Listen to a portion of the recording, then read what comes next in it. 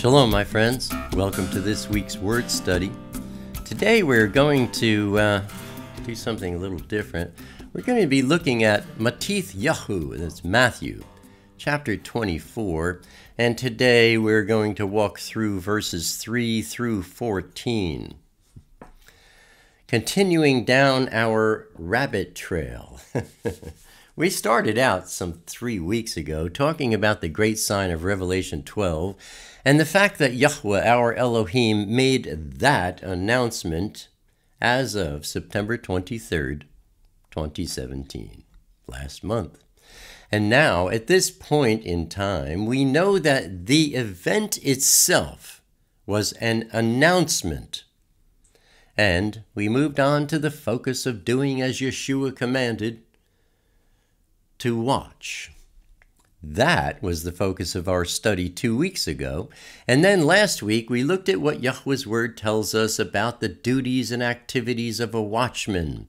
That is, what it means to be a tzafah. And we also looked at what it means to be a prophet, that is, a navi and we recalled our studies in 1 Corinthians, teaching us that we are all to desire the gift of prophecy, that is, the gift of nevuah, and that this gift, this matan of nevuah, is not what most people think. it's very simply, Chavarim, a matter of interpreting the word of Yahweh through inspired teaching. That means, and you know, we've been encouraged. Shaul said, you know, most of all, I wish that you would navu, prophesy. Well, anyone who is talking to another person from their heart about their love for the word of Yahweh and sharing his word, they are at that moment a Navi, a prophet. Today, Chavarim, I'm going to do something I've never really done before, and that is a sort of free form study. We're going to walk through chapter 24 in the book of Matthew, where Yeshua tells us what we are to be watching for. But before we begin, of course, let's pitch our tents with our beloved Elohim. Let's bow our hearts. O Abba, Father Yahweh, we come before you, Abba, to worship you, to praise you, and to thank you, Father, for the mighty work you are doing in each one of us this day. We praise you and we thank you, Father, for opening our eyes, our ears, and our hearts causing us to see, to hear, and to understand the greater depths and mysteries of your intended understanding of your word.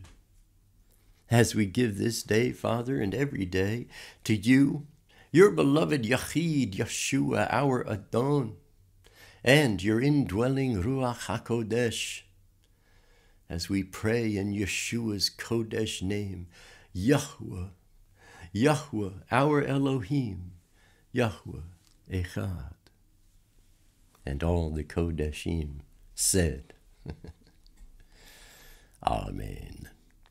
To remember where we left off together last week, our primary focus at this present time, after seeing the great sign of Revelation 12 announced is to be watchmen.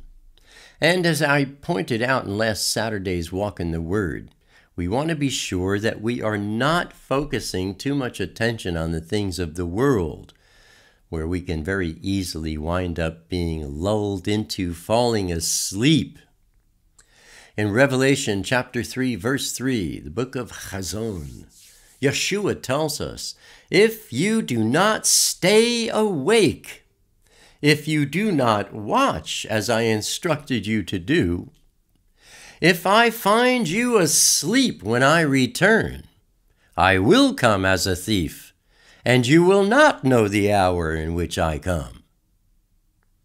So, we know that we are to tsafa. We are to watch, and that we are to be doing so in the ruach, in the spirit, not in the flesh. But what exactly is it that we are to be watching for? Well, first, we'll be watching for announcements from the watchmen we are seeking and finding on the web. And I'll be sharing such information every week in my videos on Vimeo and YouTube for that. And next, we want to be very careful about anyone who claims to own some special gift of Elohim. Someone claiming to have some special anointing that places them above others. In Matthew chapter 24, we see, in effect, Yeshua's Talmidim asking him, What are we to be watching for, Adon? And Yeshua answers them, saying, Tsafa, watch that no one deceives you, because many will come in my name, claiming, we got to watch this little part here. I am Hamashiach, and they will deceive many. Have you ever wondered about that verse? I have. I mean, there's only one guy in my lifetime who I ever heard claim to actually be the Messiah. I remember what, some 10 years ago, 15, there was some dude calling himself Maitreya and saying he was the Messiah. But Yeshua said there would be many doing this, and I've never seen many doing that. It's only one I can think of in my lifetime. And it has nothing to do with that guy, but you can buy Maitreya statues on Amazon.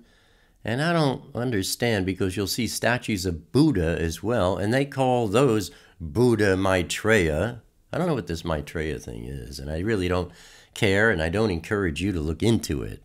Just saying. And there are other references to Maitreya being the Muslim Mahdi.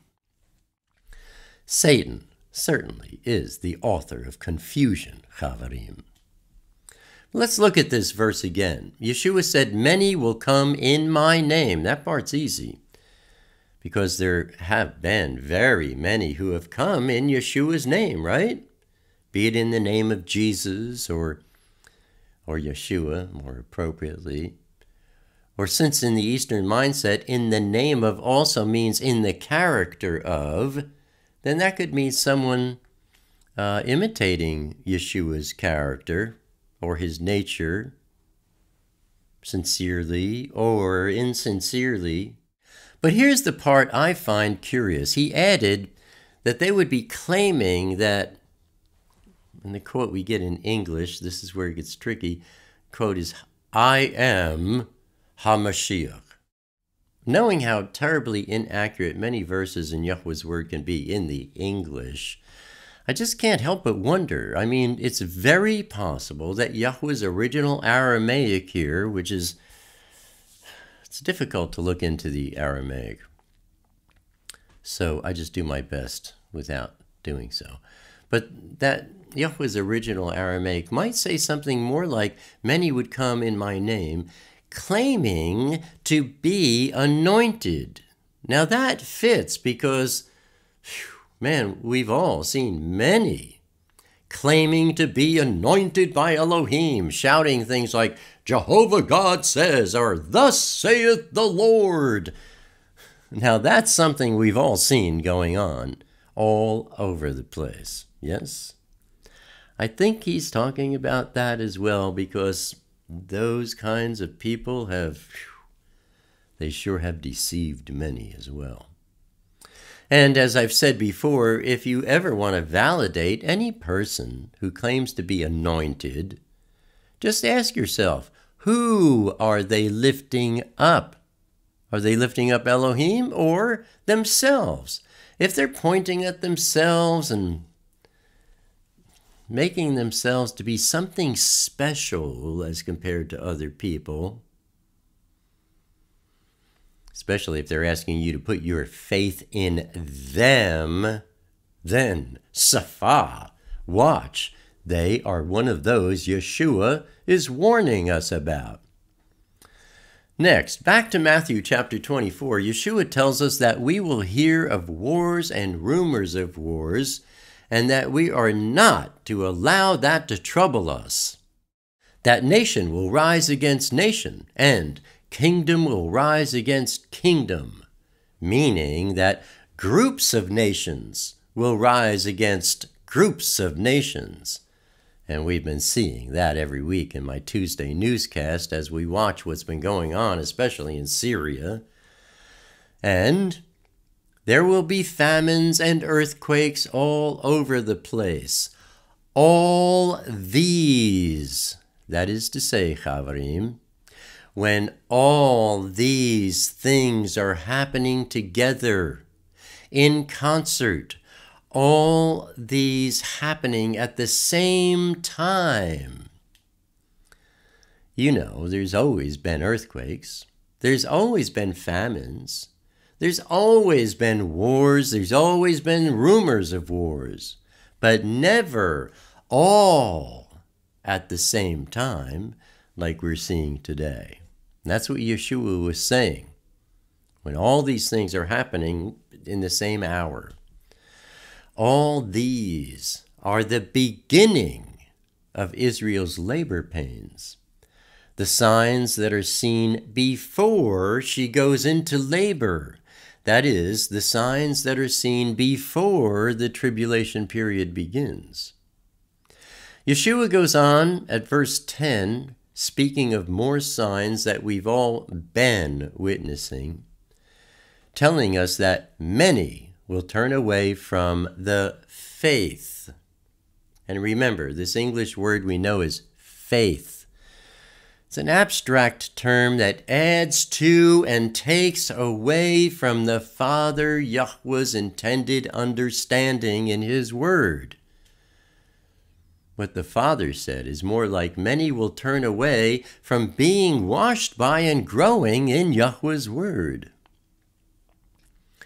And living in that dreamland of darkness, they also express hatred toward others. And, full of deceptions and lies, they betray one another. Further, Yeshua warns us that there will be many false hearted teachers and preachers of Yahweh's word who will mislead, deceive, and swindle many. And we've sure seen plenty of those too. Now, in verse 12, it seems to me that Yeshua is speaking of the tribulation period, especially when he says that because of the increase of wickedness, the love of most people will grow cold. And I'm sure you'll agree that we are seeing the early stages of that already manifesting itself throughout society and in all forms of social media. And he continues, saying that those who do continue being washed by and growing in Yahweh's word through the tribulation period will be saved. Also, we can see in verse 14 that the tribulation period is when the good news is preached throughout the whole world, and then the end will come. We're going to close here, Chavarim, and next week we will pick up with verse 15 and take a close look at this thing called the abomination that causes desolation. Let's bow our hearts. Beloved Abba, Father, we praise you and we thank you, Father, for our time with you this day in your word. Thanking you, Father, for the seeds that you are planting in each one of our hearts, causing them to take root and to flower in our lives, Abba, and in the lives of others. as we give this day, Abba, to you, Yeshua, and Ruach HaKodesh, praying in Yeshua's Kodesh name, Yahweh, Yahweh, our Elohim, Yahweh Echad. And all the Kodeshim said, Amen. That's our study for this week, my friends. Keep your wicks trimmed and keep your lamps burning bright. Shalom, Chavarim.